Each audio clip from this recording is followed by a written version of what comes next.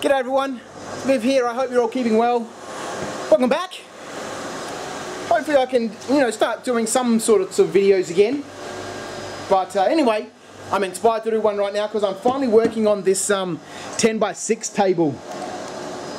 You know, I've had this around for ages. I might have shown some videos at some stage or if you followed my Facebook page, all I had, whoa, was this frame that I built for it. Um, and you know, yesterday we cut the tops to go on it. They've all been glued and then nailed down with, uh, you know, my nail gun. Added the sides to it. They're quite deep. You can see that the table's quite deep. These are 60 millimeter deep tiles.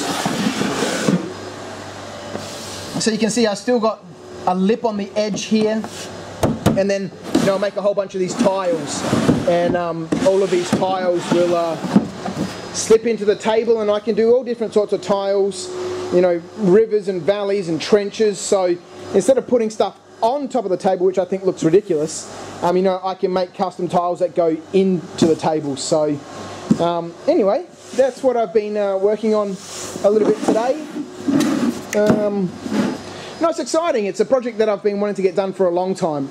So it's 10 foot 6, uh, 10 foot by 6 foot.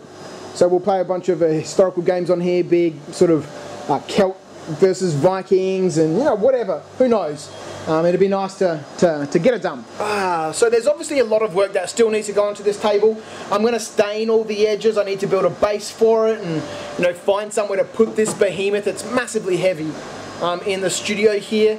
So I might make a table top that goes on top of this table so that we can use it as a workbench or a packing table or whatever we need to at the studio because you know we don't have a lot of space here anymore.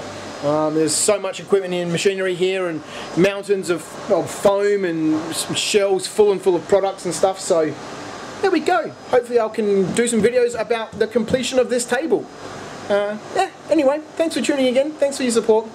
I'll catch you next time. See ya.